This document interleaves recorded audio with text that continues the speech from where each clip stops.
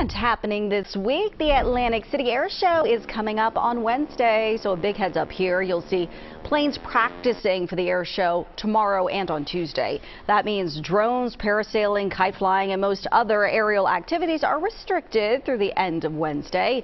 The air show goes from 10:30 in the morning until 5 in the evening on Wednesday.